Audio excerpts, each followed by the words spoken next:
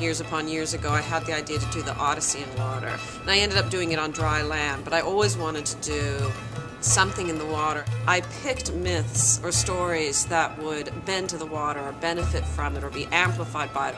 First thing that came to my mind when we talked about doing a pool on stage was how much that's going to weigh. It's very complicated to bring a body of water into a building. Water is very destructive if you don't control where it goes, as any as any homeowner knows. It's going to be over 30,000 pounds of water. And that doesn't even include people or the scenery.